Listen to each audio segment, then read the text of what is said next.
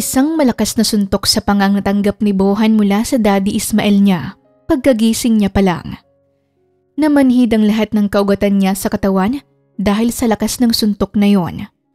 Wala ka nang ginawa kung hindi ang pasakitin ang ulo ko. Dumagundong sa loob ng kanilang mansyon ang malakas nitong boses. Akmang susuntukin na naman sana siya nito sa kabilang pa nga pero mabilis na umawat ang mami niya. Tama na Ismael! That's enough! Nasasaktan mo ang anak mo! Lumapit sa kanyang ina at hinaplos nito ang panganyang nasuntok. Parang baby pa rin kung tratuhin siya ng kanyang mami. Magaling Clarabel, kinakampihan mo pa talaga ang walang kwentang yan. Hindi na siya bata. He's a grown-up man now, at 25 years old. Hindi mo ba alam na nakipagbasag ulo yan sa anak ng isa sa mga directors natin sa ospital? Alam ko, Ismael. Ako ang mami niya. Natural na alam ko ang lahat ng ginagawa ni Bohan. Pero hindi tamang ganyanin mo siya, sinasaktan. Sa harap pa ng mga kapatid niya. Sa harap ng pagkain. Kakagising niya pa lang, Ismael. Diyos ko naman. Respetuhin mo naman ang anak mo. Masama ang loob na tiningnan ni Boha ng ama at ang mga kapatid niya. Nasa harap na ng hapag ang mga ito. Ang eldest brother nilang si Benjamin na CEO sa ospital na pagmamayari nila, ang Sebastian Medical Center.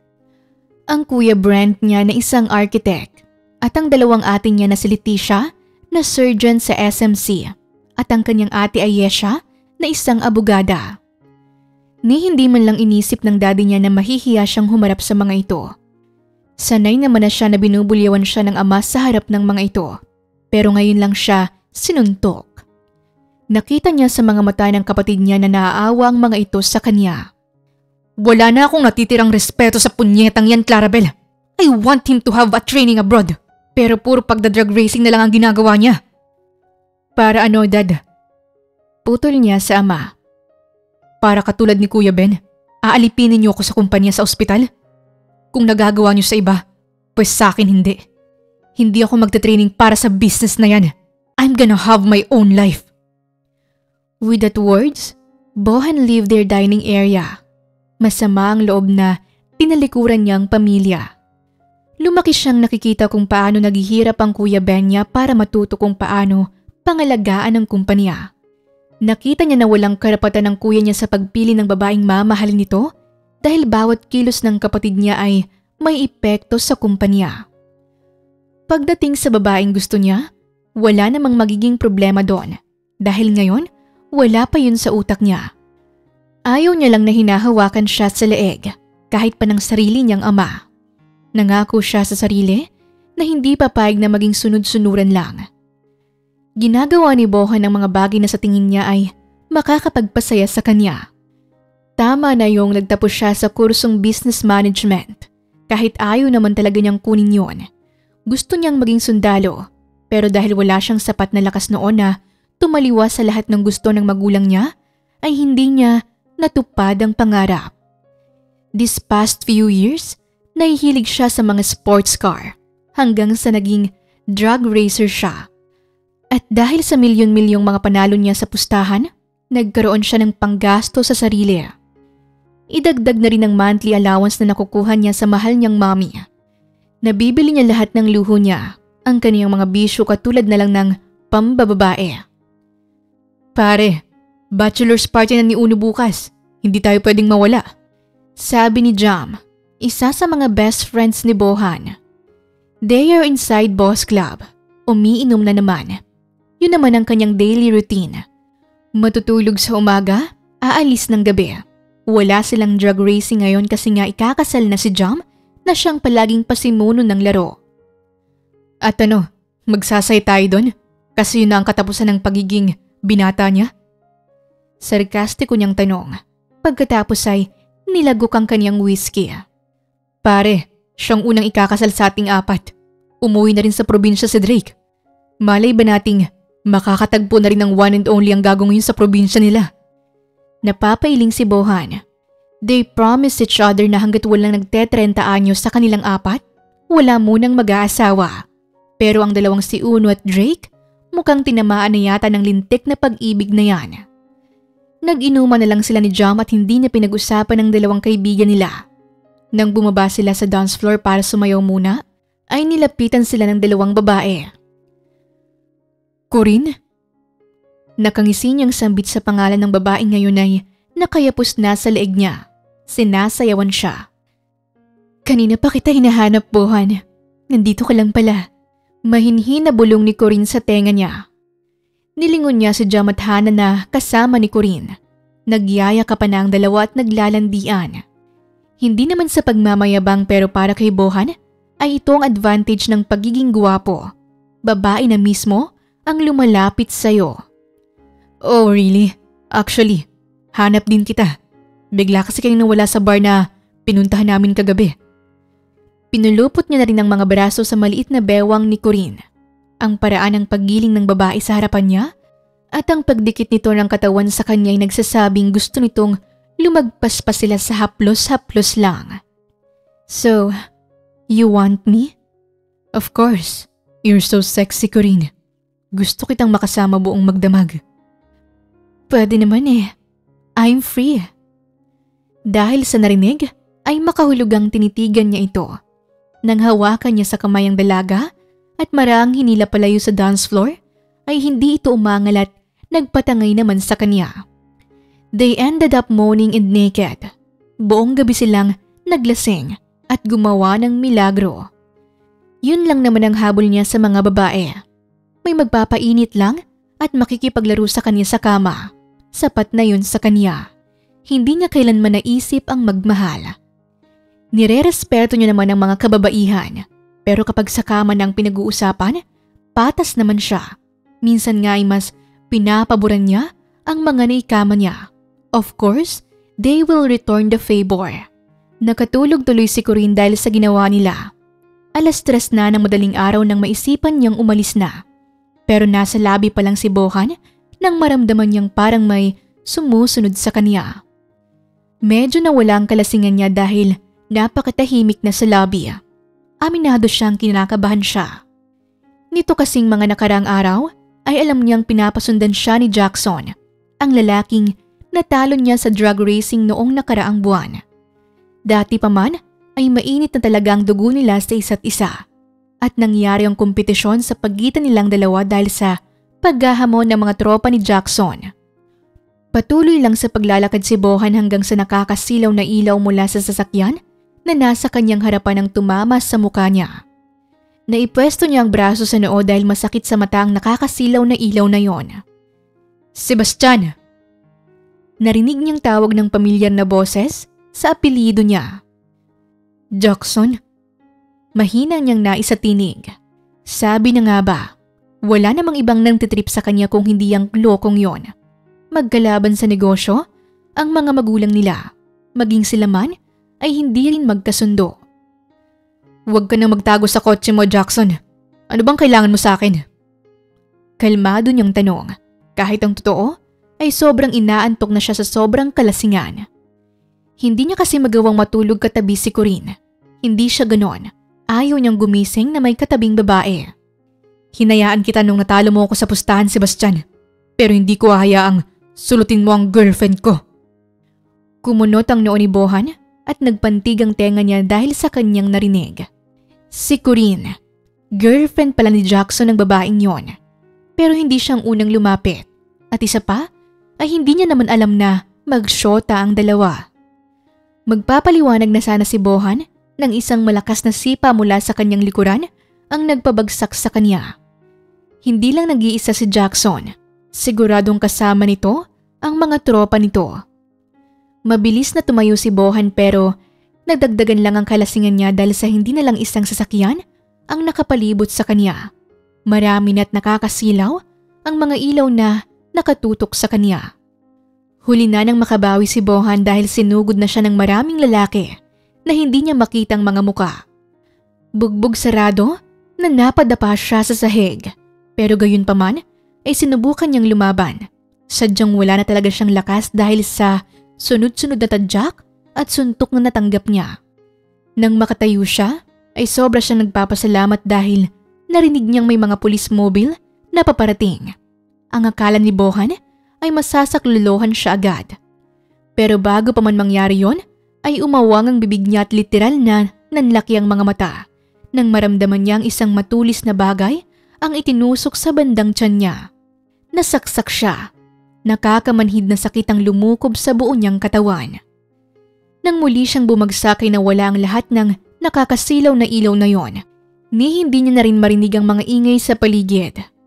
Natagpuan na lang niya ang sarili na sinasakay sa isang ambulansya at tinutulungan siya ng mga doktor. Gustong gusto niya nang matulog dahil sa labis na antok pero parang may bumubulong sa kanya na huwag niyang ipikit ang mga mata. Naramdaman niyang inililipat siya sa isa pang higaan at tinutulak ang higaang yun papunta sa kung saan na hindi niya naman alam. Bago pa man mawala ang ulirat ni Bohan, ay nakita niya ang isang babaeng nurse na tumutulak sa higaan niya. Hindi niya sigurado kung patay na ba siya kaya siya nakakakita ng ganoon kagandang babae na parang anghel. Ang gusto niya lang ay titigan ng babaeng yon na may pag-aalala ang mga matang nakatingin sa kanya. Pero sumusuko na ang mga mata niya hanggang sa naipikit niya na lang ang mga yon. Tuluyan siyang nawala ng malay. Emergency! Emergency! Naging alerto si Kiva nang marinig ang sigaw na yon ng kasamahan niyang nurse na si Kelly na nasa nurse station. Pabalik na siya doon dahil kagagaling niya pa lang sa comfort room. May pasyenteng nasaksak sa tiyan na dadalhin ngayon sa OR. Be ready. Nurse Altamonte. Tawag sa kanya ni Dr. Lance Baltimore nakalalabas lang sa staff room. Yes, Doc.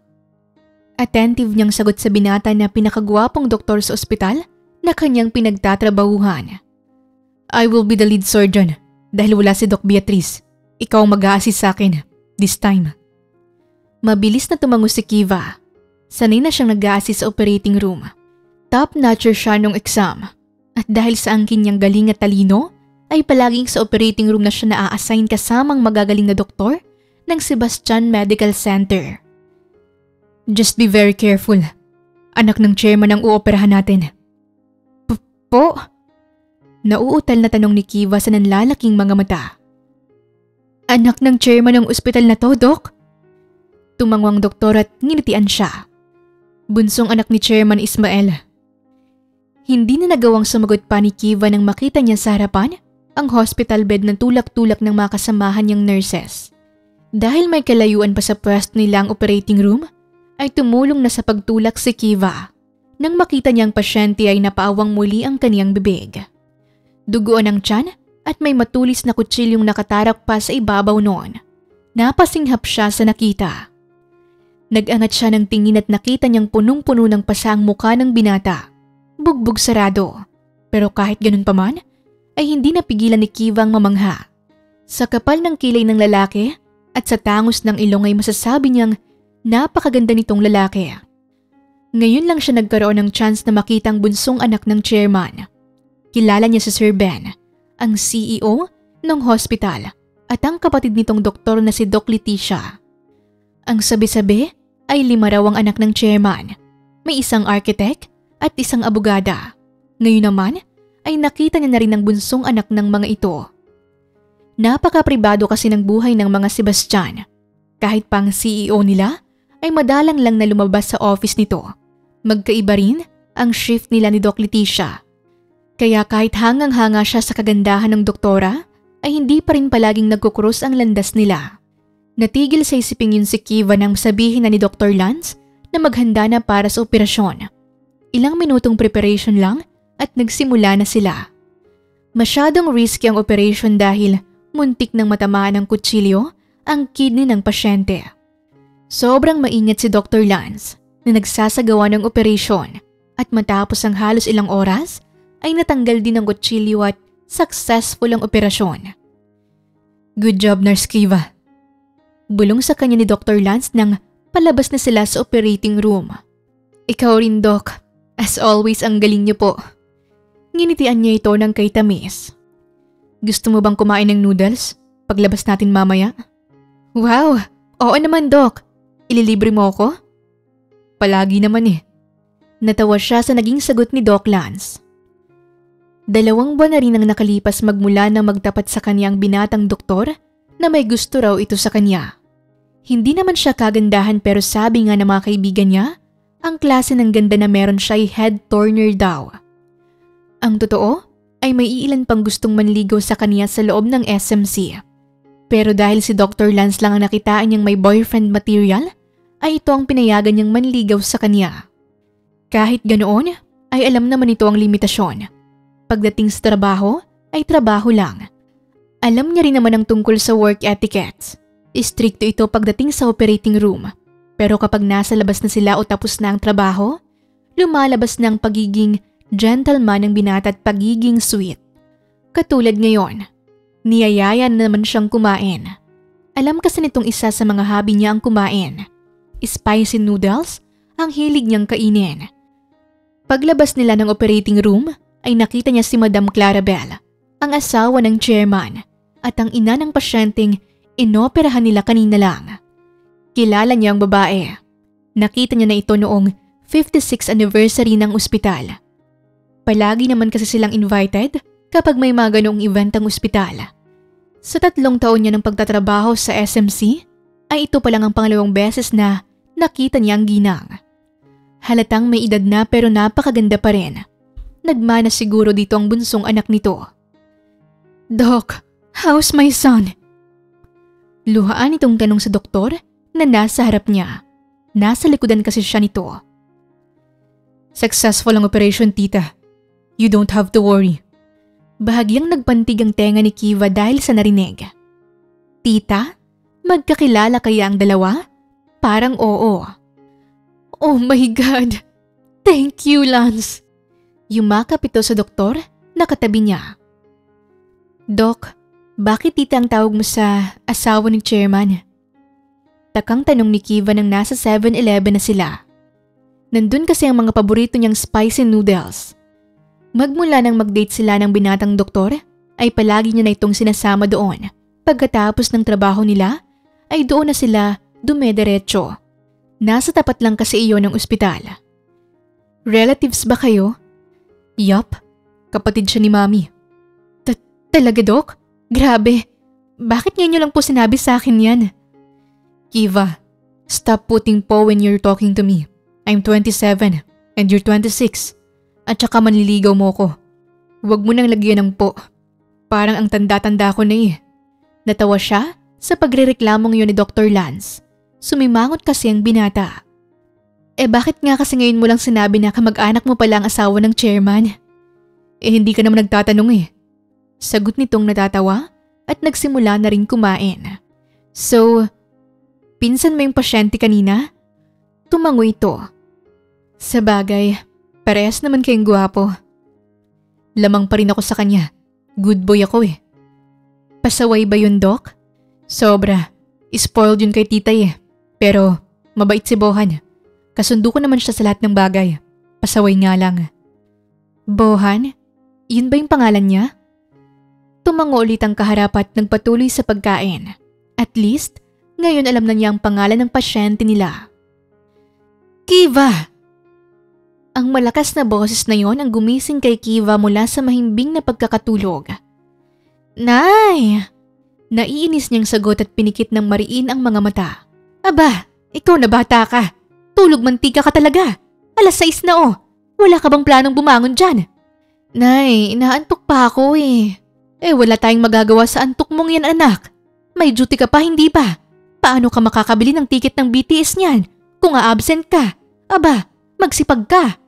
Malapit na ang concert dito sa Pinas. Tinatamad na bumangon na lang si Kiva sa kinahihigaan. Palaging ganoon na lang ang dinadahilan ng nanay niya para raw ma-motivate siya. Paborito niya kasing K-pop group BTS. Ang totoo, bukod sa pagiging tulog mantika ay tinatamad na talaga siyang magtrabaho. Ewan niya ba, hindi siya nakokontento sa sinasahod niya dito sa Pinas. Nay, what if mag-abroad po ako? Tanong ni Kiva sa nanay niya nang nasa hapag na sila. Wala ang tatay niya. Hindi pa umuuwi galing sa farm nila. Kasama nito ang kuya niya na mahilig din sa pag-aalaga ng hayop. Ewan ko sa'yo, Kiva. Hindi ka papayagan ng tatay mo. Kung gusto mong yumaman, aba, pakasal ka na kay Doc Lance. Mayaman na nga pogi pa. Nanay naman. Putol niya sa ina na labis nitong ikinatawa. Alam kasi nito ang panliligaw ni Dr. Lance sa kanya. Masyadong marespeto ang binata kaya nagpakilala na ito sa magulang niya. Hay nako anak, hayaan mo na kasi kung malit lang ang sinasahod mo buwan-buwan. Hindi naman tayo naghihirap. Sa ganang pamumuhay natin. Hindi masamang maghangad ng magandang buhay, Kiva. Pero masama ang hindi makontento sa kung ano ang meron ka. As usual, nauwi na naman sa payong pag-uusap nila ng nanay niya. Sobrang mahal niya ito dahil suportado ang mga plano niya. Pero hindi rin naman nagkukulang sa pangaral sa kanya. Biro lang ito lagi sa kanya na magpakasal sa mayamang lalaki para yumaman. Pagkatapos maghapunan ni Kiva, kasama ang ina ay nagmadali siyang lumabas sa bagong renovate nilang bahay dahil sinundo na naman siya ni Lance. Dahil hindi kalayuan sa ospital ang bahay nila, ay kaga din silang nakarating. Kiva, alam mo ba? Gising ng anak ni Chairman Ismael. Bungad sa kanya ni Kelly, pagkapasok niya pa lang sa nurse station. Mabuti naman. Buti nga't hindi siya napuruhan sa kidney. Talaga? Kung nagkataon, siguradong may napakagwapong binata na paglalamay ng mga Sebastian. Nurse Kelly ang bibig mo. Sita sa kanila ng head nurse na si Rosella. Hindi tama na pinagsasalitaan mo ng ganyan ang anak ng owner ng ospital na ito. S Sorry po, Nurse Rosella. Sambit ni Kelly na napangiwi. Yan kasi eh. Natatawa niyang asar sa kaibigan. Kasabay niya itong nag-apply sa ospital 3 years ago. Pero alam mo ba, may mga security guard daw sa labas ng room niya. As in? Bakit naman daw may security? Tanong niya at napatingin sa dulo ng pasilyo kung nasaan naroon ang kwarto ng anak ng chairman. May apat na securities nga sa labas na ani may mga sundalo. Nakatayo ng tuwid ang mga ito at sa iisang direksyon lang nakatingin. Iba talaga pag mayaman na no? Maospital ka lang, may bantay ka na agad. Natigil sila sa usapang yon nang tawagin siya ng head nurse. Nurse Kiva, Yes, Nurse Rosel. Palitan mo ng dextrose ni Sir Bohan. Paubos na yun kanina noong huling round ng isang nurse sa day shift. Po, yung anak ng chairman? Nanlalaki ang mga mata na tanong niya na ikinatango ng head nurse. Kung ayaw mo, ako na lang. Gusto kong alagaan si Pogi. Bulong sa kanya ni Kelly. Tumigil ka nga. Mapapagalitan na tayo ni Nurse Rosel niyan eh. Mabilis naman na kumilos si Kiva at sinunod ang mga sinabi ng head nurse. Hay, kararating pa lang niya pero simula na agad ng trabaho niya. Hindi siya pwedeng mapagod. Maraming nakalista sa bucket list niya na dapat niyang pag-ipunan ngayong taon. Pero nang humakbang na papalapit sa presidential suite si Kiva, kung saan naroon ang anak ng chairman, ay bigla na lang siyang nakaramdam ng kaba. Hindi niya alam kung bakit. Ganun pa man, ay pumasok pa rin siya. Pagbukas niya ng pinto ay ang binatang inoperahan nila kagabi ang bumungad sa kanya. Nakahiga ito sa hospital bed habang ang mga matay tutok sa TV sa harapan nito. Walang pakialam sa kung sino man ang pumasok. Nakita niya rin ang isang matandang babae sa couch, may kalayuan sa bed, nagbabalat ng prutas. Good evening po sir. Ako po ang nurse na in charge sa pagra-rounds dito sa kwarto mo ngayong gabi. Matapos niyang sabihin yun ay dahan-dahan itong ibinaling, ang tingin sa kanya. Halos matunaw si Kiva sa kinatatayuan nang walang kahirap-hirap na nagtama ang kanilang mga mata. Ngayong gising na ito ay napagtanto niyang mas maganda pala ang mga mata nito kapag nakabukas ang mga yon. Kulay abo, pero mukha itong suplado. Magkasalubong ang mga kilay at parang galit kong makatingin. Papalitan ko lang po ang dextrose niyo, sir. Nakangiti siyang lumapit sa kinahihigaan ng binata at maingat na ginawa ang dapat niyang gawin. Pansin niyang nakasunod lang ang tingin nito sa bawat galaw niya na parang kinikilala siya at nakakailang yon. Maya-maya pa'y sinubukan itong bumangon pero nakikita niyang nahihirapan. Serbohan, ano pong gusto niyo? Tanong ng may katandaang babae na nakalapit na agad sa kanila. I'd like to pee manang fe. Ah, sige. Tutulungan kitang makapunta sa banyo. Pe pero sir, hindi pa po kasi kayo pwedeng magkikilos. Kaka-opera lang sa inyo kagabi. And what do you want me to do, miss? Ang umihi dito sa kinahihigaan ko? Nakataas ang isang kilay na tanong nito sa kanya. Pero titig na titig sa kaniyang mga mata. Napayuko tuloy siya. Ah, uh, may urinal naman po sa ilalim ng bed nyo. Pwede po kayong... No! Matigas at pinal nitong putol sa kanya. Kaya kong pumunta sa banyo. I just need a little help. Medyo uminit yata ang ulo niya sa katigasan ng ulo ng lalaki. Nagpupumili talaga itong bumangon at handa namang umalalay ang matanda sa tabi niya. Ah, uh, ako na humanang. Umupo na lang kayo doon. Ginitian niya ang matanda, nagpasalamat naman ito at bumalik sa ginagawa. Halika na sir. Tinulungan niyang makabangon ang binata hanggang sa tuluyan na itong nakatayo. Para makalakad ng maayos ay kinailangan itong umakbay sa kanya at nang sandaling magdikit ang kanilang mga katawan ay panandali ang nanginig ang bawat kalamnan ni Kiva. Bakit bumibilis ang tibok ng kanyang puso ngayong magkadikit silang dalawa? Sinaway niya ang sarili sa biglaang pagkakagusto ng katawan niya sa sensasyong dala ng binata. Nahihirapan itong maglakad pero humanga agad siya dahil kinaya naman itong maglakad papunta sa banyo habang nakaalalay siya. Maya-maya pa ay lumabas na ito doon. Inalalayan niya ulit hanggang makabalik na sa kinahihigaan nito. What's your name? Um, ako po si Nurse Kiva, sir. Nginitian niya ito. Tumangot-tango naman ito at hindi inalis ang paningin sa kanya. Nang wala na itong itinanong, ay lumabas na siya sa suite na yon. Nakaramdam ng kaginhawahan si Kiva. Bakit kaya parang hindi siya makahinga kanina nang magkalapit sila ng lalaking yon? Bumalik si Kiva sa trabaho at hindi na pinansin ang kakaibang naramdaman niya. Nang muli siyang bumalik sa kwarto ng lalaki para sa pangalawang round, ay nakatulog na ito. Muli siyang napangiti nang makita ito. Tulog na tulog kasi ang binata at narinig pa niyang napaka-cute nitong hilik. Bahagya pang nakabukas ang bibig kaya nakita niya ang puti nitong mga ngipin. Kung kanina ay mukha itong suplado, ngayon naman ay para itong bata. Kinumutan niya na rin ng matanda sa may couch. Pagod siguro ito kaya hindi na naramdaman ang pagpasok niya. Natapos ang trabaho ni Kiva ng gabing yon. Kinabukasan ay mas naging masipag siya. Palapit na kasi ng palapit ang concert ng BTS. Pinag-iipunan niya ang VIP ticket. Nasa nurse station siya habang hindi pa nagsisimula ang rounds niya.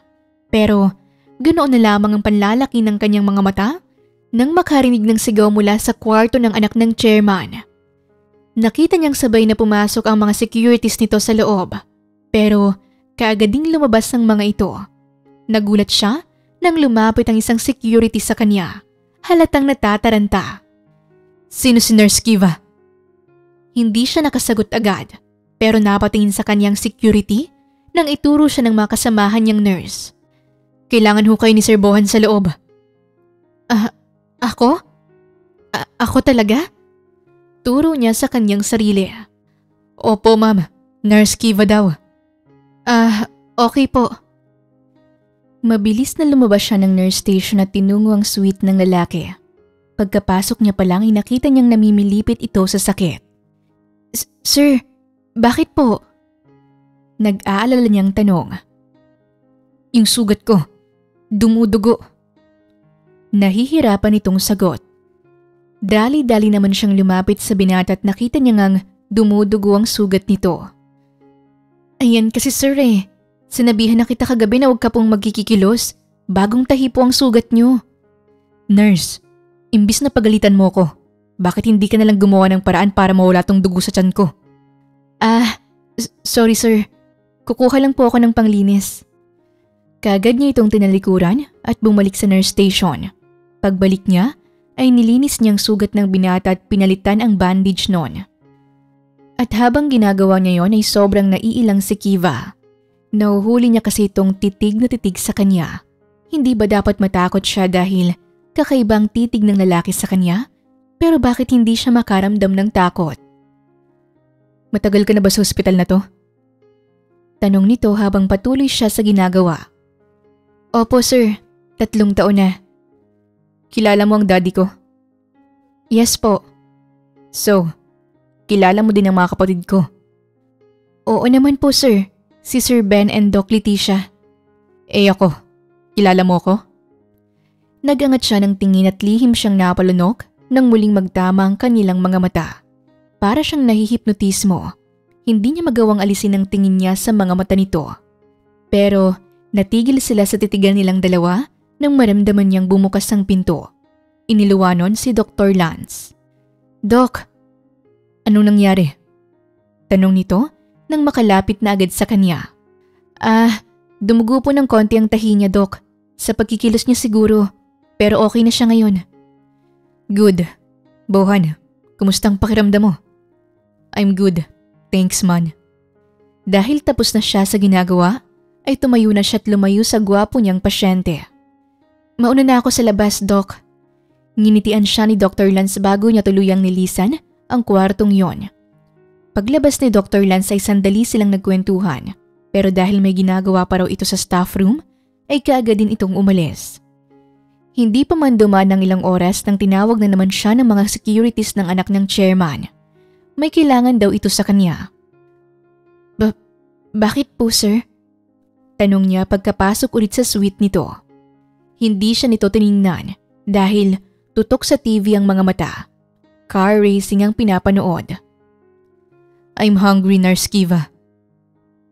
Po? Taka niyang tanong. Tapos, ano naman ngayon kung gutom ito? Napatingin sa mini sala ng suite si Kiva at nakita niyang wala doon ang matanda na nagbabantay dito kagabi. Ang sabi ko, gutom na ako. Ah, o okay po. Anong gusto niyong gawin ko, sir? Pakainin mo ko. Sa nanlalaking mga mata ay napakurap ng ilang beses si Kiva. At bakit ko yun gagawin, sir? Hindi naman siyang bantay nito ah. Nurse siya ospital na ito at hindi visitor ng pasyente. Kasi gusto ko. Suplado nitong ibinaling ang tingin sa kanya. Walang maapuhap na isasagot si Kiva. Grabe, parang ang sama ng ugali ng bunsong anak ng chairman. I want apple and mango. Kanina pa ako hindi kumakain. Sa sinabi nitong yon ay nakaramdam ng awa si Kiva. Nakita niya sa mesa na may mga pagkain niyang hindi nagagalaw. Bawal pa kasi itong kumain ng marami. At sa hindi malamang dahilan ay napasunod siya ng binata. Natagpuan niya na lang ang sarili na naghihiwa ng prutas at inuumang yun sa pasyente niyang palautos. Akala mo naman ito ang nagpapasweldo sa kanya. Well, pamilya naman ito ang nagpapasahod sa kanya. Pero syempre, hindi niya naman trabaho ang magpakain sa binata. Ilang taon ka na, Nurse Kiva? Tanong nito matapos lunukin ang pagkain. Bakit mo tinatanong, sir? Gusto kong malaman. Um, 24 po. Pagkasabi niya noon, ay nakita niya itong ngumiti. At hindi maintindihan ni Kiva kung bakit biglang bumagal ang oras nang ngumiti ang binata. Mas gwapo kasi ito, para siyang natunaw na parang yelo dahil sa ngiting iyon. Pero ang sumunod na naging tanong ng binata ay hindi niya inaasahan. May boyfriend ka na ba? Po? Gulat niyang tanong sa namimilog na mga mata. Ba- bakit niyo ho na itanong, sir? Sa tingin mo, bakit ko tinatanong? Ah, uh, hindi ko po alam. Kasi nga gusto ko ring malaman. At bakit po gusto niyong malaman? Pwede bang wag mo nang lagyan ng po kapag nag-uusap tayo? Hindi naman ako matanda, hindi ba? Natahimik siya sa sinabing yun ng binata. pero pasyente ka dito. At ikaw ang anak ng chairman ng wala akong pakialam. Huwag mo na ulit lagyan ng po ang mga sinasabi mo. P pero... Natigil sa pagsasalita si Kiva nang walang pasabing inilapit ni Bohan sa kanya ang napakagwapo nitong muka. Muling pumintig ng malakas ang puso niya sa pagkakalapit ng kanilang muka at natatakot siyang baka marinig yon ng kaharap. Nakakahiya. Wala nang pero-pero, Nurse Kiva. Mahina nitong bulong habang titig na titig sa mga mata niya. Lihim siyang napalunok niyang bumaba ang ting nito sa mga labi niya. Just call me Bohan. Pero sir, hindi niya ulit na ituloy ang sanay pagprotesta niya at napatakip na lang sa bibig nang mas lalo pa nitong ilapit ang muka sa kanya. Dahil sa ginawa niya ay naramdaman niyang dumikit sa likod ng palad niyang malambot at mainit nitong labi. Kung hindi niya ginawa yon, siguradong nagkahalika na sila. At sa sobrang lapit nila sa isa't isa, siguradong mahihiyang dumaan ang hangin sa pagitan nila. Kapag nagpo ka pa sa akin na tinawag mo akong sir, makakatikim ka ng halik sa akin. Understood? Wala sa sariling napatango si Kiva ng dahan-dahan. Good. Anito at inilayo ang muka sa kanya. Napabuga siya ng hangin. Pakiramdam niya ay malalagutan siya ng hininga sa ginawang iyon ng lalaki. So, ano nga? May boyfriend ka ba o wala? Um, kapag nalaman kong may boyfriend ka, paalisin kita rito sa ospital na to. W- wala, wala akong boyfriend. Mabilis niyang sagot na ikinangiti ng binata. Hindi siya pwedeng mapatalsik sa ospital. Mahalaga sa kanyang trabaho niya. Pero ano naman kayang kinalaman ng pagbo-boyfriend niya sa trabaho niya? Itatanong niya sana yon pero pinapaalis na siya ni Bohan. Busog na ako.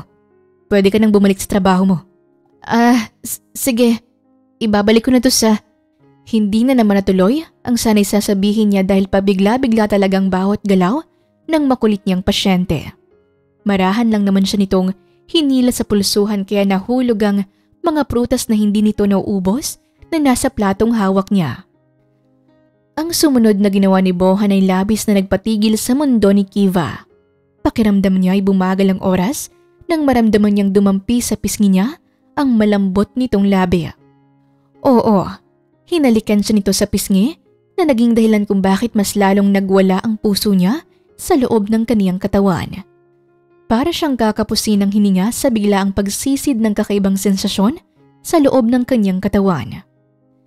Thank you for taking care of me, Nurse Kiva. Napakurap siya nang lumayo ang binata sa kanya. Napakaseryoso ng mukha nito habang siya naman ay maramdam na ramdam niyang pag-iinit ng mukha niya. Hindi tuloy siya makakilos sa kinatatayuan. Braxton, Bumukas ang pinto at nakita niyang pumasok ang isang guard sa labas. Sir, pakilinis ng sahig. Maotoridad nitong utos, tsaka ibinaling ang tingin sa kanya. Nurse Kiva, pwede ka nang bumalik sa trabaho mo. Baka kasi maisipan kong halikan ka na naman sa kabila mong pisngi. Nahihiyang lumabas si Kiva sa suite ng binata. Narinig kasi ng guard ang sinabing yun ni Bohan. Hay, hindi tuloy siya makapagtrabaho ng maayos dahil sa ginawang iyon ng binata. Kahit nga nang makarating na siya sa bahay nila, ay hindi agad siya nakatulog. Nakakainis. Ginulo ng halik na yon ang buo niyang sistema. Ang landi kasi ng pasyente niya. Sa mga sumunod na araw, ay mas lalo lang kinabahan si Kiva. Mas lalong hindi siya makapagtrabaho ng maayos.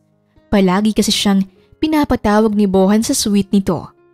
Sinabihan pa siya ng head nurse na sa anak ng chairman muna siya mag-focus. Hindi na nga siya pinasama sa OR kahit may ooperahan na naman si Dr. Lance. Abalang-abala ang buhay niya kay Bohan na konting kibot lang, pinapatawag agad siya. Parang ayaw na nga nitong umalis siya sa suite nito. Kung ano-ano na lang ang iniuutos sa kanya. At nakakapagtaka na hindi man lang siya nagrireklamo. Parang gustong gusto niya rin na binibaby si Bohan.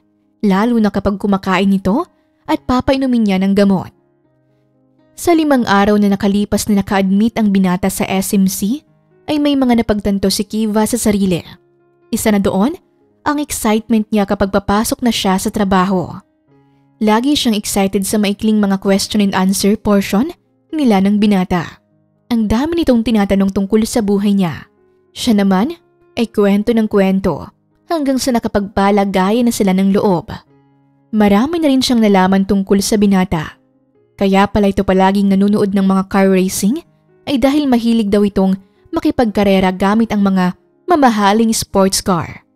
At ang akala niya ay sa TV niya lang napapanood o sa nobela niya lang nababasa na may mga anak mayaman niyang spoiled brat. Nagagawa daw kasi ni Bohan ang lahat kahit hindi nito kailangang magtrabaho. Sa loob ng ilang araw na yon ay naging magkaibigan silang dalawa. Palagi siyang napapatawa ng binata sa mga simpleng jokes lang nito. Hindi niya akalain ang isang Bohan Sebastian na mukhang suplado ay napakamaloko pala. Palabiro at higit sa lahat, nagagawa nitong pabilisin at palakasin ang tibok ng puso niya sa mga simpleng pagkakadikit lang nilang dalawa. Wala pang lalaki na nakapagbigay sa kanya ng ganoong klasing pakiramdam. Kahit pa ang mga crush niya nung college o kahit na si Doc Lance. At ang nakakainis lang ay hindi niya magawang magalit kapag hinahalikan siya ni Bohan sa pisngi tuwing magpapasalamat ito sa kanya. Kelly, may dala akong chicken macaroni. Luto ni Mama. Aniya, nang makapasok sa nurse station. May isang oras pa bago magsimula ang rounds niya at excited na siyang makita si Bohan. Wow, talaga?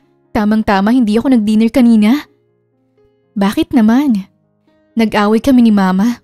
Nabwisit ako. Puro na lang siya hingi ng pera. Ginagamit niya sa pagsusugal. Ganun ba? Nakakainis nga yun. Sige, kainin mo na to. Nagdala talaga ako para sa'yo at para kay Sir Bohan. Sir Bohan ka dyan. Eh, na-discharge na nga raw kanina. Nagtanong na ako. Kasi wala na mga bodyguards na nakabantay sa labas ng suite ng pogi na yun. Aha? Na-discharge na? Kumunot ang noo niya. Napatingin siya sa labas ng suite ni Bohan at wala na nga talagang mga bodyguards doon. Ni hindi niya man lang naibigay ang chicken macaroni na pinangako niya rito kagabi. Oh, ba't parang pinagsakluban ka ng langit at lupa dyan? Ang lungkot mo. Ah, ngayong nalaman mong wala na ang paborito mong pasyente. Eh kasi sabi niya gusto niyang kumain ng chicken macaroni. Tapos ngayon, nagdala ako tapos discharge na pala siya. Nakabusangot na umupo siya sa tabi ni Kelly. Hoy, ikaw ha? May napapansin na ako sa'yo. Si Doc Lance ang maniligaw mo, hindi ba? Pero bakit parang attached na attached ka na kay Sir Bohan? Hindi naman. Um, napalapit lang ako sa kanya. Siniko siya ni Kelly. Nangingiti ito na parang may gustong sabihin kaya napangiti na lang din siya. Ewan niya rin ba? Hindi niya alam kung bakit lagi niyang gustong makita ang binata. Dumaan ang mga araw. Bumalik sa normal ang buhay ni Kiva, pati na ang trabaho niya. Palagi ulit siyang busy sa operating room kasama sina Dr. Lance. Nag-day shift na rin siya. Kalalabas niya pa lang sa operating room nang salubungin siya ni Kelly.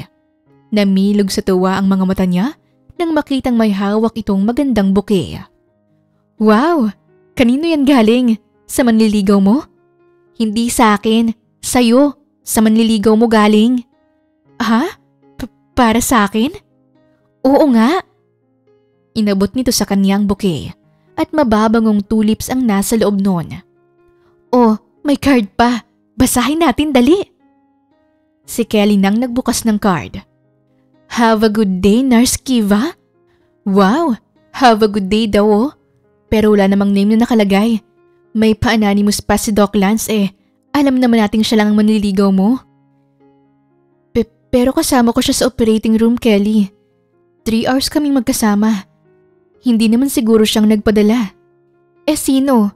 May iba pa bang nagpapalipad hangin sa'yo? Yun din ang hindi niya alam. Lalo pa at araw-araw ay may bulaklak na pinapadeliver sa ospital. Hindi na nga lang flowers. May masasarap at mamahalin pang mga tsokolate. Minsan naman, masasarap na ulam. Sa loob ng dalawang linggo'y nakakatanggap si Kiva ng flowers. Hindi niya naman alam kung kanino galing. Hindi niya naman magawang itanong kay Dr. Lance dahil nasa Africa na ang binata para sa isang medical mission. Hindi nga siya naisama sa medical mission na yon dahil kailangan siya ng ibang doktor sa OR. Huy! Hala, Kiva! Nagmamadaling lumapit si Kelly sa kanya na para bang nakakita ng multo. Ano yun? Taka niyang tanong. Nasa baba si Sir Bohan. Pinagtitinginan na siya ng mga nurses sa baba. Kasi ngayon lang siya bumisita sa ospital. Paakyat na nga dito eh. Ewan ko kung sinong binibisita niya pero yung hawak niyang purple na bouquet, Ganun na ganun ang natatanggap mo araw-araw, hindi ba? Palaging purple yung natatanggap mo. Dahil sa sinabing yun ni Kelly, ay sandaling napatulala si Kiva. Naalala niyang napag-usapan na nila ni Bohan ang tungkol sa mga paborito niya. Pati favorite color niya ay alam ng lalaking yon. At oo, palaging purple bouquet ang natatanggap niya nitong mga nakarang araw. Magandang maganda kasi para sa kanyang purple. Natigil sa isiping yun si Kiva nang marinig niyang may tumikim sa bandang likuran niya. Kiva. Ang pamilyar na boses na yon ang naging dahilan kung bakit siya nanginig. Lihim siyang napalunok. Sa loob ng ilang linggo, inaamin niyang sobrang nananabik siyang marinig muli ang tinig na yon. Niyuyugyug siya ni Kelly sa balikat at hindi niya alam kung haharap siya kay Bohan o hindi. Nagtitilian na kasi ang mga kasamahan niyang nurse. Hindi niya alam kung bakit. Dahan-dahan siyang humarap at halos matunaw siya na parang ice cream nang muli na namang magtama ang kanilang mga mata. Ang lalaking hanap-hanap niya sa loob ng ilang linggo. Sir Bohan? Tipid ang ngiti na hinarap niya ang binata. Kinakabahan siya. Nang ngumiti ito, ay napagdikit niya ang mga labi. Ang guwapo. Pinasadahan niya ito ng tingin at halos lumuwa ang mga mata niya. Isang simpleng black oversized shirt at black pants lang ang suot nito. May black bull cap din sa ulo. Hawak nito ang isang magandang bouquet at parang masayang masaya na makita siyang muli. Pakiramdam niya ay si Lee Min Ho ang nasa harapan niya. Para sa'yo. Tense na tense siya ngayong magkaharap na ulit sila. Pa para sa akin? Bakit mo ako binibigyan? Kasi hindi ako nakapagpaalam sa'yo. Noong na-discharge ako, I need to rest kaya hindi agad ako nakabalik dito. May natatanggap akong mga bouquet na ganito. Sa'yo ba galing ang mga yon? Tumango agad ito. She found him cool. Nang ipinasok nito ang mga kamay sa bulsa ng pantalo nito. Pasasalamat ko yun sa'yo. Bakit ka naman nagpapasalamat? Because you take care of me. Nung nandito pa ako. Napangiti siya. Hindi niya na napansin ng mga kasamahan niyang nakatingin sa kanya. Trabaho ko naman yun eh. Nag-usap pa sila sandali ni Bohan hanggang sa dumating ang head nurse nila at nakakahiya dahil nagpaalam pa si Bohan dito, nahihiramin daw muna siya. Ang head nurse niya naman ay pinayagan siyang makaalis. Ganoon ba talaga kapag anak ng may-ari ng ospital? Nasusunod ang mga hiling nito? Nang makalabas sila ng ospital, ay sobrang nagtaka si Kiva dahil dinala siya ni Bohan sa isang helipad. Bohan, saan tayo pupunta? Nagtataka niyang tanong nang tumigil ang isang chopper sa harapan nila. Palawi Island. Palawi? Ano namang gagawin natin doon? Malayo yun, Bohan. May trabaho pa ako. Baby, I know. Lihim na napalunok si Kiva dahil sa pagtawag nitong baby sa kanya. Hindi naman siya bata pero ang sarap nung pakinggan. Eh bakit tayo pupunta doon? Kiva, I wanna be with you. Bohan. Listen. Anito at hinawakan siya sa magkabilang balikat. Bahagya pa siyang nanginig dahil doon. Kiva, hindi ko alam kung bakit ko to ginagawa. Pero gusto kitang makasama. Gusto kitang isama sa beach house namin.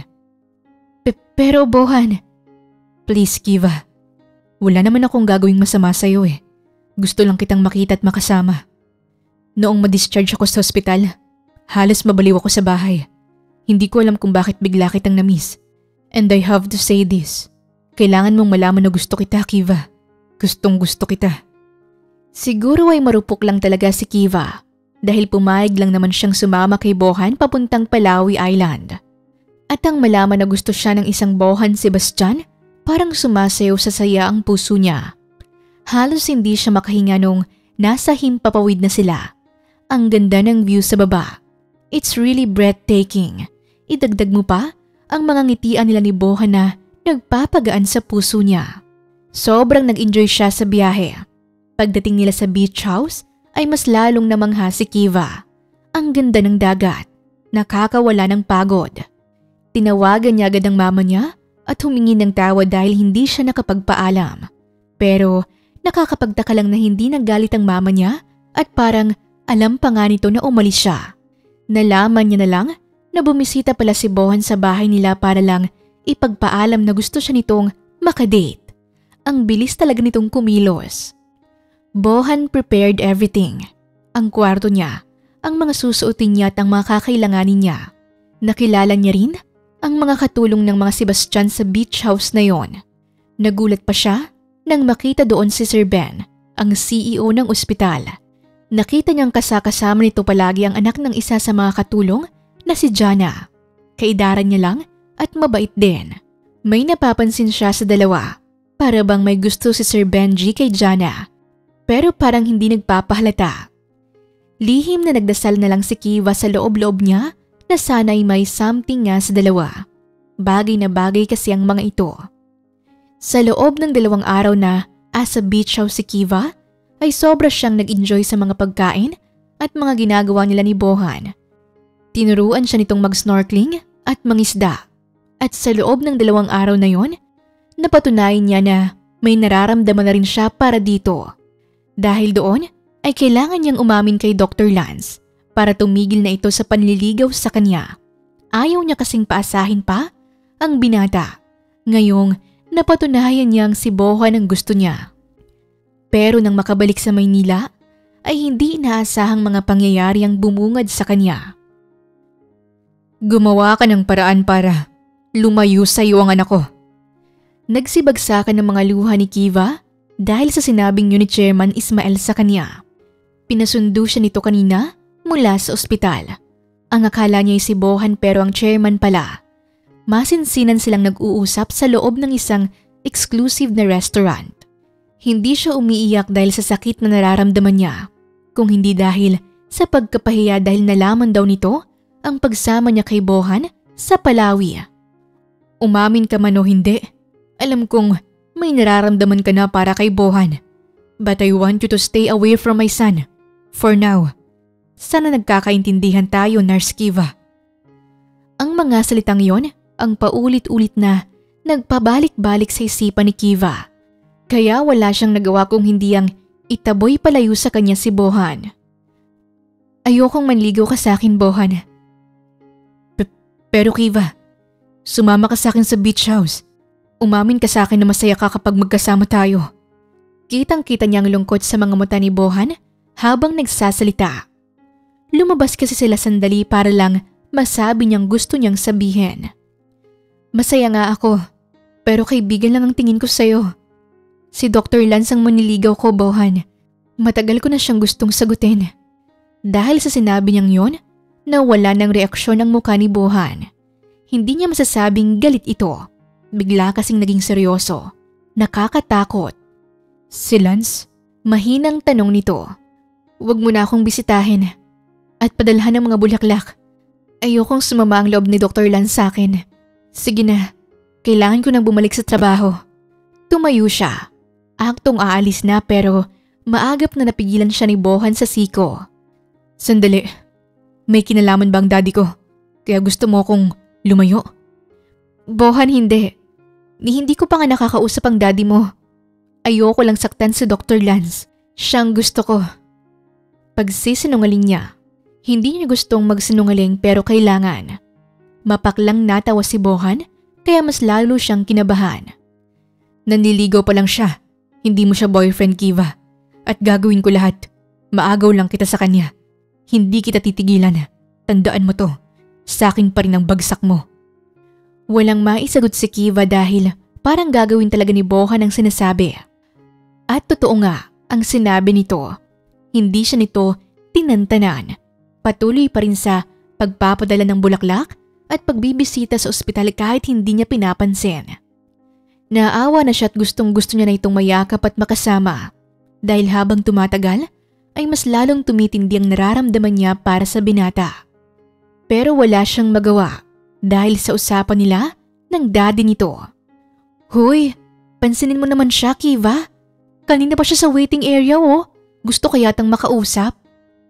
Sabi ni Kelly na naaawa rin kay Bohan. Napabuntong hininga si Kiva. Hayaan mo na siya, Kelly. Malungkot niyang sagot. Tutok lang siya sa ginagawang pag-check ng mga medical records ng mga pasyente kahit tapos niya na iyong basahin kanina. Bakit bigla mo na lang siyang dinedma? May nagawa ba siyang masama sa'yo? Wala naman.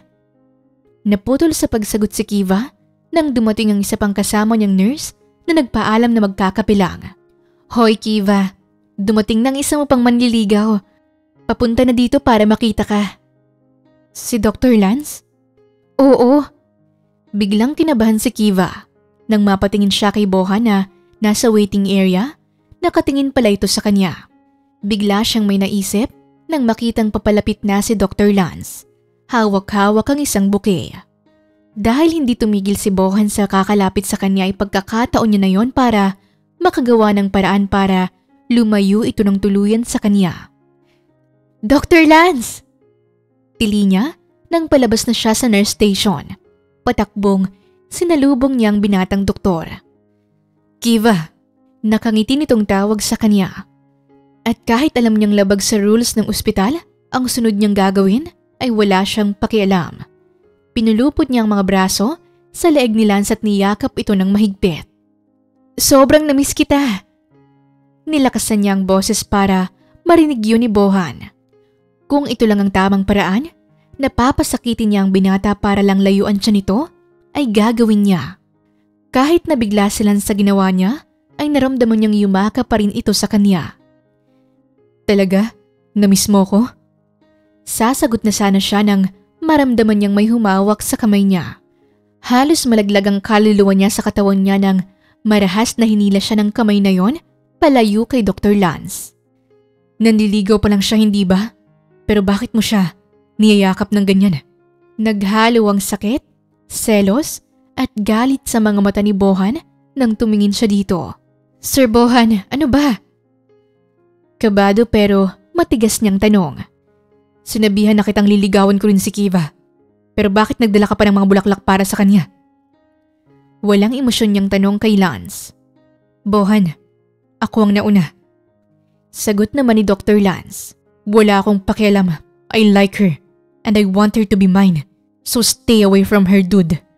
Bohan, hindi lahat ng gusto mo makukuha mo. Nakangiting sagot ni Lance na mas lalong ikinaigting ng mga panga ni Bohan. Sir Bohan, pwede ba umalis ka na? Naiiyak niyang tanong sa binata. Alam kong wala akong karapatang sabihin to sa'yo dahil kayo ang owner ng ospital. Pero nag-iiskandalo ka na, pinapaalis mo ko. Para ano? Para patuloy ang landian yung dalawa ng pinsan ko? Napakurap siya at mapaklang natawa sa tanong na yun ni. Hindi niya rin napigilan ang luha niya sa pagsibagsakan. Oo, kung yun ang gusto mong isagot ko. Bakit ba hindi ka makaintindi? Si Lance nga ang gusto ko. Siyang sasagutin ko. Bakit siya? Dahil may kaya siyang gawin bilang lalaki. Isa siyang doktor. Kaya niyang tumayo sa sarili niyang mga paa. Ganong mga lalaki ang gusto ko. Eh ikaw, isa ka lang walang kwentang drug racer na umaasa sa pera ng mami mo. Sa tingin mo ba gugustuhin kong makasamang lalaking tulad mo? Hindi. Kaya umalis ka na. Tantanan mo na ako. Pakiusap. Nakita niyang napaawang ang bibig ni Bohan dahil sa mga sinabi niya at ikinuyom pa nito ang mga kamao. Sa umiigting nitong mga panga, ay alam niyang nasaktan ito sa mga sinabi niya. Dahil hindi niya kinayang mga salitang lumabas sa bibig niya, at makitang nagpipigil ng mga luha si Bohan, ay walang pasabing tinalikuran niya na lang ang dalawa. Pumasok si Kiva sa banyo at doon ay inilabas ang lahat ng emosyong kanina pa niya pinipigilan. Tama lang ang ginawa niya. Dapat siyang layuan ni Bohan. Pare, akala ko ba hindi ka masasaktan dahil lang sa babae? Natatawang asar ni Jam kay Bohan habang nagiinuman sila sa isang club. Damn it pare, wala akong kwenta. Yung bibig ng babaeng yun, kayang punitin ang puso ko. Pero bakit ayaw niya pa rin mawala sa isip ko? Hindi kaya mahal ko na siya? Natatawa siya. Lasing na lasing na ito pero hindi pa rin mawala-wala ang sakit sa puso ni Bohan dahil sa mga sinabi ni Kiva sa kanya. Aba, ewan ko sa'yo. Dapat kasi hindi lang pagda-drug racing ang gawin mo. Magtrabaho ka para may pambili pa tayo ng maraming babae. Huwag kang magseryoso sa punyatang pag-ibig na yan. Nagdawanan silang dalawa ni Jam. Umuwi siyang hindi na makapaglakad nang maayos sa sobrang kalasingan. Mabuti na lang at sinundo siya ng mga kuya niya.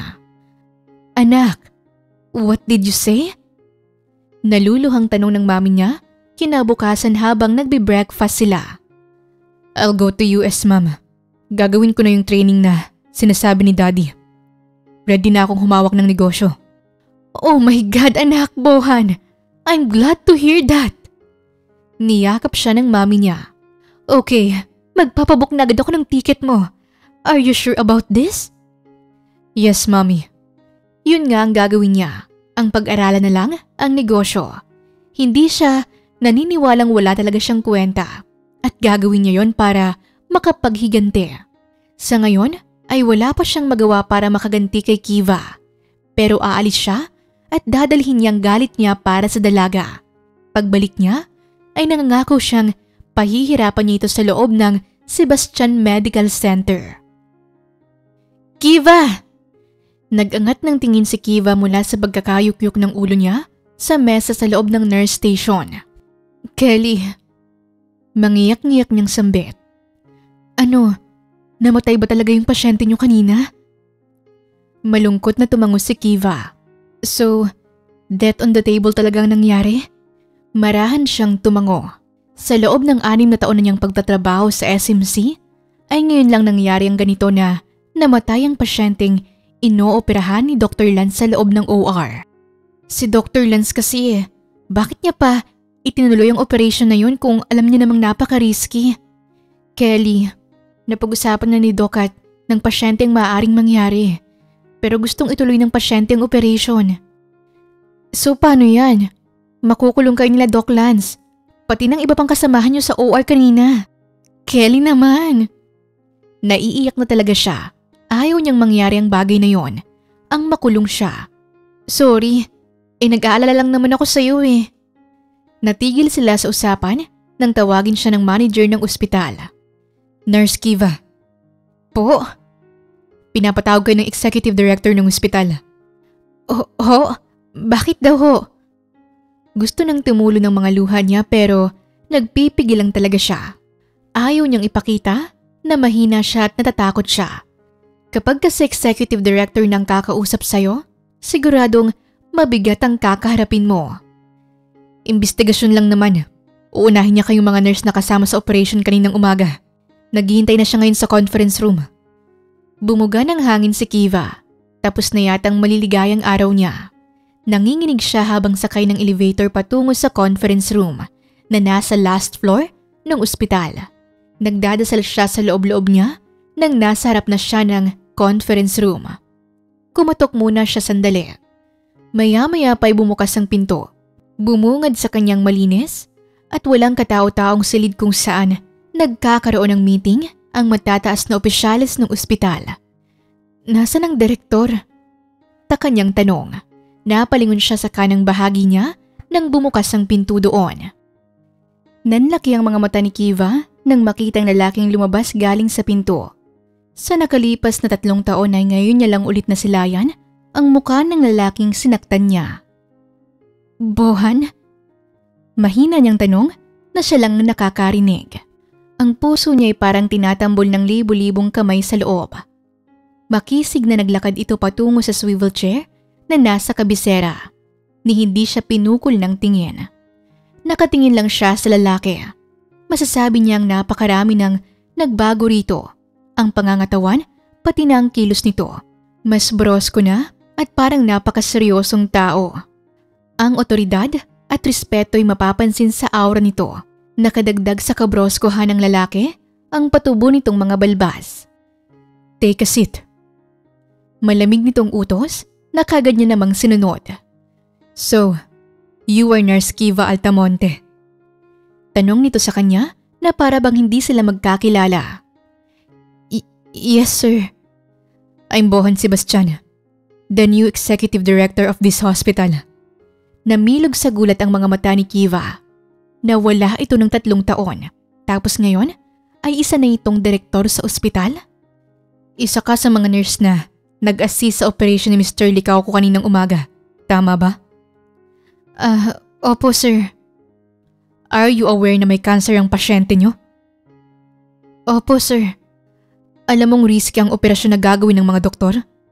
Delikado ang tingin na pinukol ni Bohan sa kanya. Nakakatakot. Ah, alam ko po.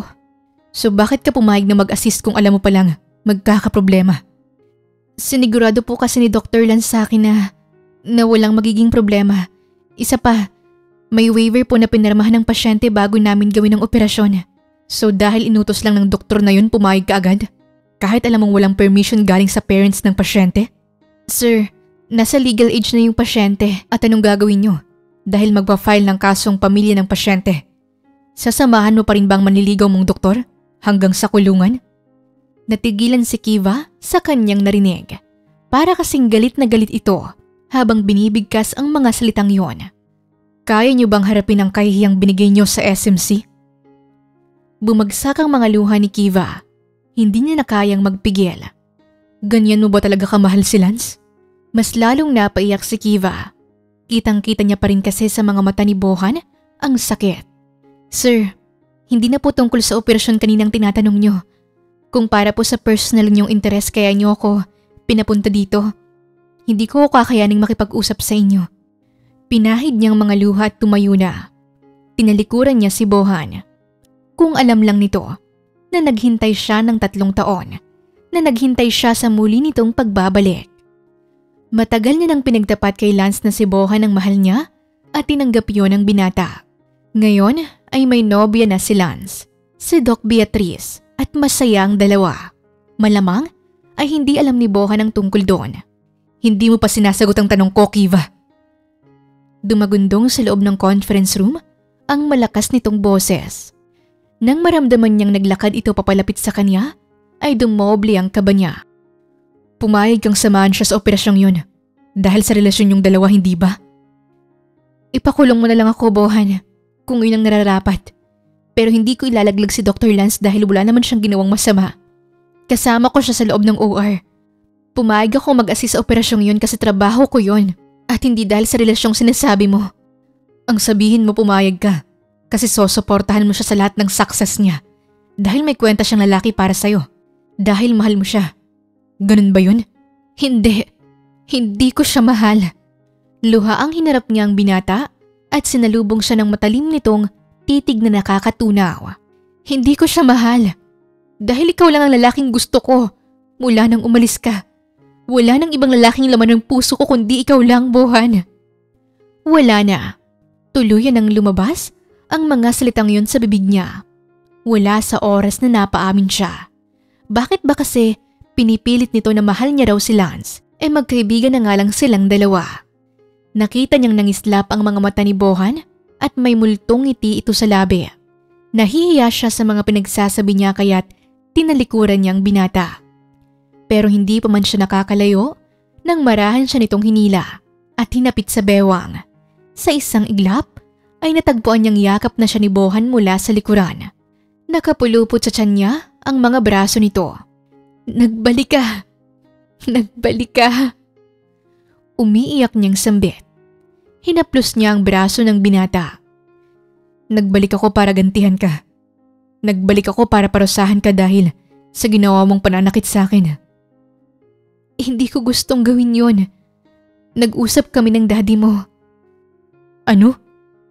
Napabitaw ito sa kanya, kaya naman hinarap niya ang lalaking mahal niya. Kinausap ako ng daddy mo. Ang sabi niya, basta din daw kita. Sabihan ng masasakit na salita. Gusto niyang mag-training ka sa abroad. At kung naging girlfriend mo ako noon, siguradong hindi ka aalis. Yun lang ang paraan. Ang saktan kita. Gusto niyang magbago ka, Bohan. At ngayong successful ka na, siguradong proud sa iyo ang daddy mo at papayagan niya na akong pumasok sa buhay mo. Hindi mo lang alam na halos mabaliwang puso ko nung umalis ka. Kiva. Luha ang binanggit ni Bohan ang pangalan niya. Kung liligawan mo ako ngayon papayag na ako. Pero siguraduhin mo lang na wala kang ibang babae. Dahil sa sinabi niyang yon ay tuluyan ang tinawid ni Bohan ang pagitan nila. Mahigpit siya nitong niyakap. Ikaw lang, Kiva. Ikaw lang ang babaeng laman ng puso ko sa loob ng tatlong taon. Nakakabaliw ang oras na wala ka. Mahal kita. Gumanti siya sa mahigpit na yakap ni Bohan. Ngayon niya lang naramdaman ng contentment na matagal niya nang hangad. Paano yan? Magkakahiwalay ulit tayo kasi sabi mo makukulong ako. Hindi ka makukulong. Nagawan ko na ng paraan. Isa pa, tama naman ang sinabi mo na nasa legal age ng pasyente. May karapatan siyang magdesisyon para sa sarili niya, kaya walang magiging problema. Sinabi ko lang yun para inisin at paiyakin ka. Gusto kong makaganti sa ginawa mo sa akin 3 years ago. Ikaw talaga napaka-childish mo. Hinampas niya ito sa dibdib, kaya't natawa ito. Siguraduhin mo lang na may girlfriend na si Lance at hindi na nagpapapansin sa'yo. Kung hindi, gugulpihin ko siya. Hindi nga. Ano bang dapat kong gawin para maniwala ka? Halikan mo ko. Bohan? Dali na. Hindi pa nga tayo eh. Baby, I don't care. Matapos nitong sabihin yon, ay kinabig siya nito para sa isang matagal at matamis na halik. Sa wakas, ay nangyari na rin ang pinagdarasal ni Kiva na makasama niyang muli ang lalaking laman ng puso niya. Alam niyang babalik ito at hindi siya nabigo. Ngayon ay magsisimula silang muli. Alam niya sa puso niya na ito na ang lalaking gusto niyang palaging nakikita sa bawat umagang gigising siya. Gusto niyang makasama si Bohan hanggang sa pagtanda, kasamang pamilyang bubuuin pa lang nila. At hindi nga nagtagal ay nagpakasal rin ang dalawa, namuhay ng masaya at bumuo ng malaking pamilya. Wakas! Maraming salamat po sa inyong pakikinig sa kwentong ibinahagi namin ngayong araw. Muli, ito po ang Tales of Siren at hanggang sa ating muling kwento. Maraming salamat po.